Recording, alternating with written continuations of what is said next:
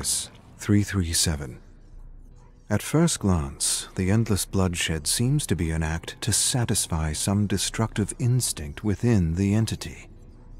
This seems to me a reductionist distortion of something more sophisticated, something more intricate, something even sacred. Beyond the horror, the shedding of blood, and the very real appearance of death puts us in touch with life and can be an intoxicating and highly addictive experience on the deepest and most archaic levels.